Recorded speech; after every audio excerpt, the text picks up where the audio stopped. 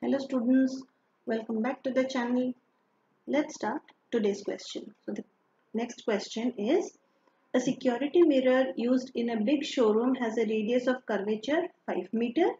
If a customer is standing at a distance of 20 meter from the cash counter, find the position, nature and size of the image formed in the security mirror.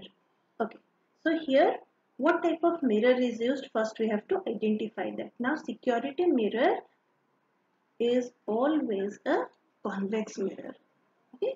Because it has a wider range of view.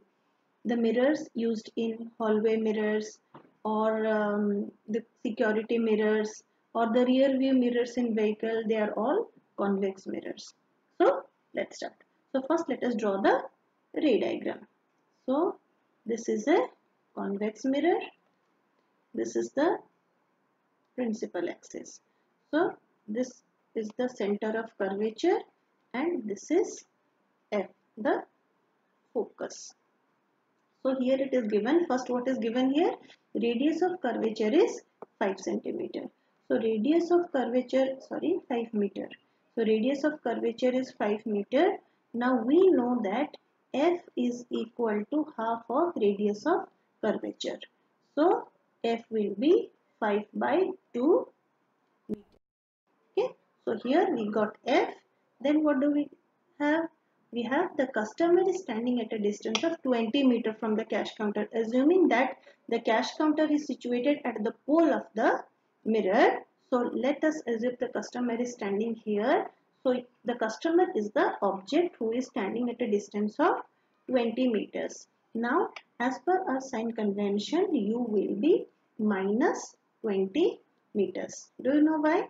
Because in order to measure the object distance, we have to go towards left from the pole which is opposite to the direction of light. We consider the light rays to be traveling from left to right. So when we have to measure the object distance, we have to go against the direction of light that is towards the left.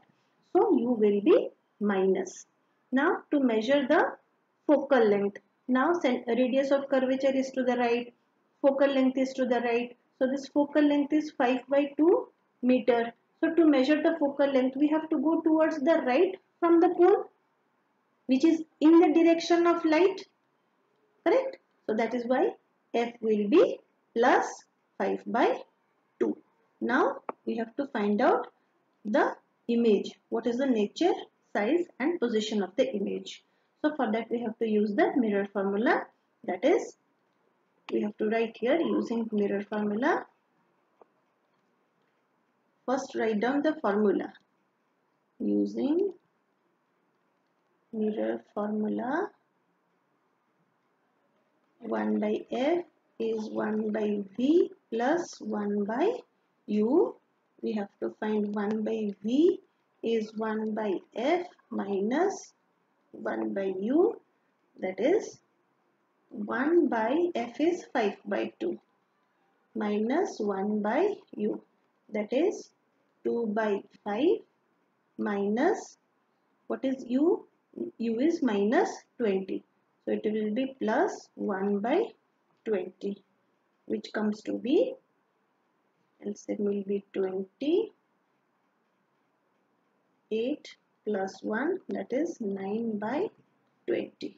Therefore, now 1 by V is 9 by 20. So, V will be 20 by 9 that will be 2.2 meter. Okay.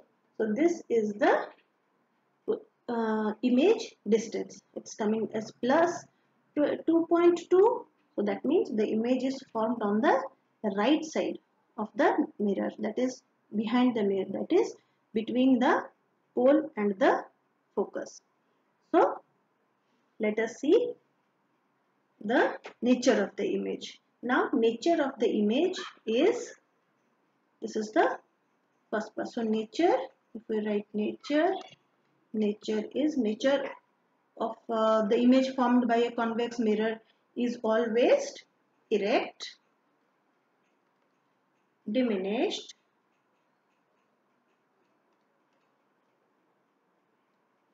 virtual Okay, erect, diminished and virtual. So this is the nature. Okay, I hope this part is clear. This is bit A. Now come to bit B. Now bit B says Neha visited a dentist in her clinic. She observed that the dentist was holding an instrument fitted with a mirror. Okay. So the state, the nature of this mirror and the reason for its use in uh, for use in the instrument by the dentist. So the mirror is a concave mirror. Concave mirror. So the mirrors used by dentists are concave mirror. Why? It produces an enlarged erect and virtual image. Image which enables the dentist see our teeth properly. No? So this is used is a concave mirror. This case is the case of the concave mirror producing a virtual image. That is when the object lies between the center of curvature and focus here. So at that the image this is the here. So this is a case where the concave mirror produces a magnified virtual and erect image. So if the teeth is kept between the focus and pole of the concave mirror then it will produce a virtual enlarged and erect image of the object that is our teeth. So this will enable the doctor to see the magnified view of our teeth from the behind which would not have been otherwise possible to view from the outside. So the dentists use a concave mirror for this purpose. I hope this question is clear. Thanks for watching. Please like, share and subscribe to my channel to keep me motivated. Thank you.